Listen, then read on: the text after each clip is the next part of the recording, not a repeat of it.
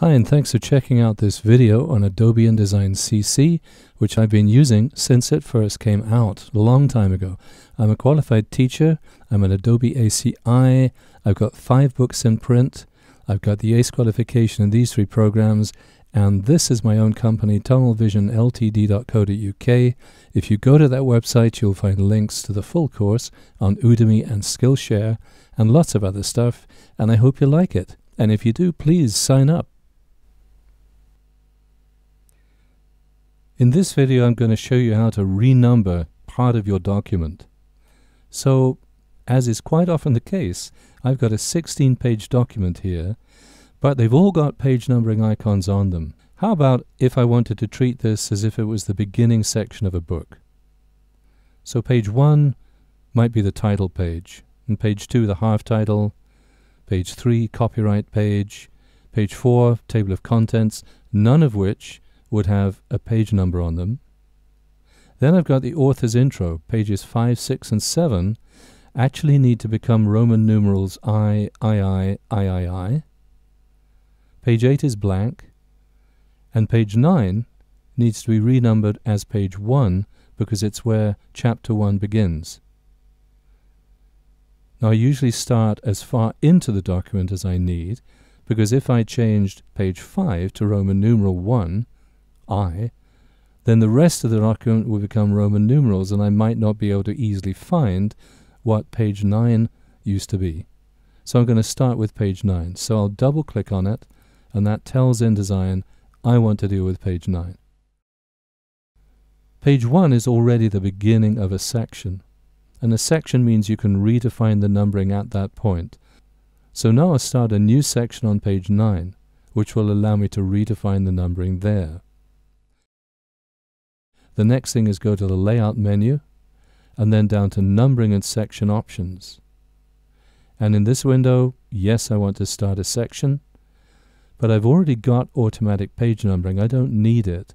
So instead, I'm going to click on Start Page Numbering at 1. A lot of people make the mistake of changing that to a 9. Well, if you do that, the 9 isn't going to change. Leave it at 1. Now, as soon as I click OK, InDesign is going to say, You've already got a page 1 in this document. Are you sure you want another? Yes. OK. And page 9 becomes page 1, not only here on the screen, but up here in the Pages window as well. Now I can go to page 5 by double-clicking on it. And again, I want to define a new numbering sequence here, Roman numerals. So I'll go to the Layout menu, down to numbering and section options. And as before, start section, yes. Automatic page numbering, no. Start page numbering at 1. But down here in the page numbering area, I've got different options for what kind of numbers to use. And there are two for Roman numerals, upper and lowercase. Well, the Romans didn't use lowercase, so I'm not going to either. I'll use uppercase, so it's going to be I, I, I, I, I, I, Ivy, and so forth. As soon as I click OK, page 5 becomes I, followed by I, I, I, I, I. Unfortunately, though, page 8 is now Ivy. I don't want a number on page 8. I don't want a number on page 1, or 2 and 3, or 4 either. So how do I deal with that? It's actually very easy. You just click on 1 once you don't need to double click. Then you hold down the Shift key and click on 4. And then you hold down the Command or the Control key and click on what used to be page 8, Ivy. You can cherry pick by holding down Command or Control.